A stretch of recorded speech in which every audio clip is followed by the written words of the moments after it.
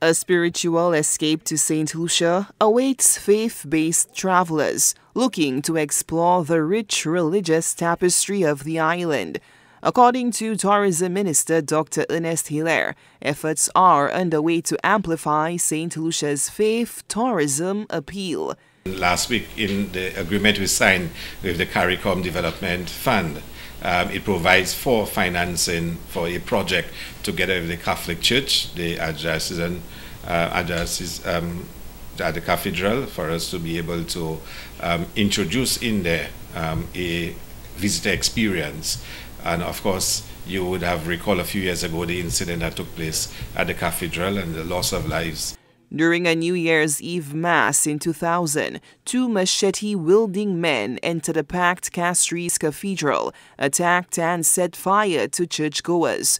The men, who identified as extremist Rastafarian prophets, hacked worshippers and set fire with a blowtorch and fuel a nun from Ireland, 72 year old Sister Teresa Egan of the Order of St. Joseph of Cluny, was killed, and at least 12 others seriously wounded. So there is going to be a Free Martyrs Shrine, a shrine erected with a narrative, a story about what happened and the importance of it to the Catholic faith.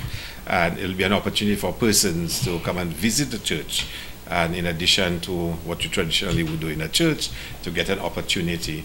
Some noteworthy faith tourism locations are Jerusalem, Israel, the Vatican, Italy, and Mecca, Saudi Arabia. Now, for those of you who may have traveled to other parts of the world and have seen some of those um, experiences, um, it, it, it is quite a, a rewarding experience from the perspective of spirituality, but also too in terms of its tourism component to be able to attract um, visitors. For us, it enhances the um, reputation of Castries as a city and as a destination that visitors who come into this country, there'll be more to see in Castries.